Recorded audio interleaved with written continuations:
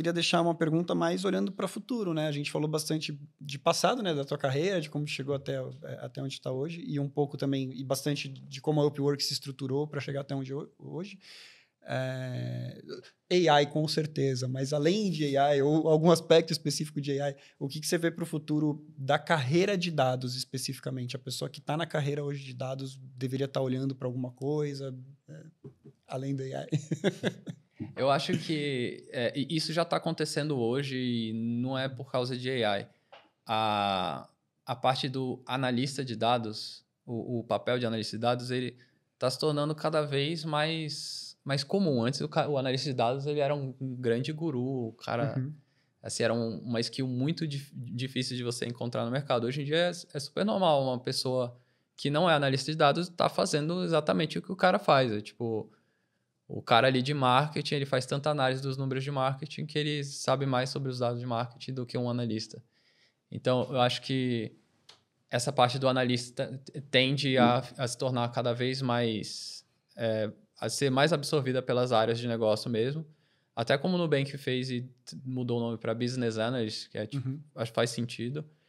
É, te, é, tende é, a tendência, eu acho que é as pessoas se tornarem mais técnicas, quem quiser seguir nessa, nessa área.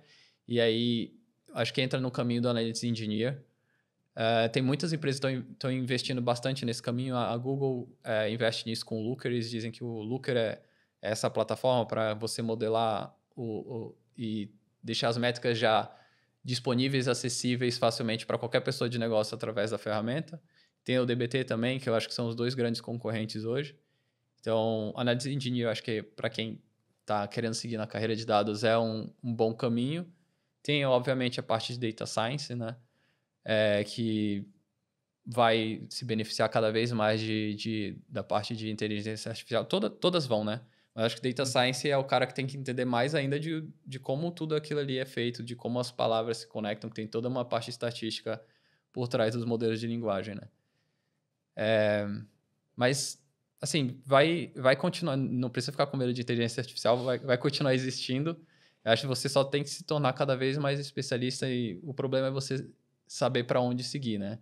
Mas os caminhos são esses, assim. Ou se você é uma pessoa mais de negócio, fique em, em análise de dados, acho que é um, um, negócio legal, eu gosto muito de estar próximo de negócio.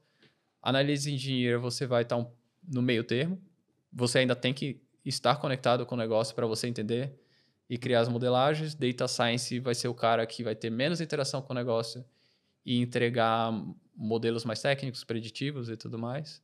Então, depende muito do perfil, mas eu não vejo grandes mudanças é, na, na, na estrutura, só no que você vai entregar. Você vê essa pessoa de análise de dados, é, essa tendência, por exemplo, de não ser mais uma pessoa que está na área de dados, no time de dados, respondendo para a liderança de dados e respondendo para a liderança funcional do negócio, por exemplo? É, eu já, já vi em algumas empresas é, ele está respondendo direto.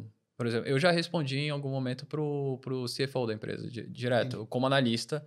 Eu era ali ah. o analista da área de, de finanças. É, é comum, depende muito da, de como a empresa quer se organizar. E, e, você acha que isso de carreira pode criar algum tipo de especialização? Por exemplo, a pessoa vem com é, como analista de dados do time de finanças, por exemplo, uhum. de marketing, numa empresa, na outra, na outra, daqui a pouco começa a surgir uma vaga assim, cara, eu quero, uma, quero um analista de dados, mas como é para área de marketing, eu quero que a pessoa seja especialista em marketing ou algo do tipo. Ah, isso assim. tem muito. Já tem também? Já, já tem, sempre Super... teve. É, tem seus benefícios, né? Que é uhum. você se torna o grande guru naquele tema.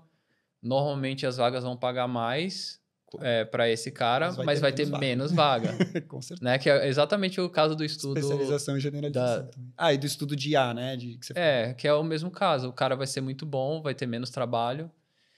É, mas mas eu, eu acho que é, é, é, isso. Assim, se você, o problema de você se tornar um grande especialista em alguma coisa é que você diminui seu leque de, de possibilidades no mercado eu tive esse momento de, na minha carreira, eu estava ali prevenção à fraude, meu salário triplicou em seis meses, recebi oferta de um monte uhum. de lugar para receber muito mais, pagam muito bem, mas, cara, será que eu quero só trabalhar com isso a minha vida toda, sabe? É difícil sair depois. É, se você se torna um grande especialista, depois para você voltar, acho que é, vai ter um, vai ter um trabalhinho, né?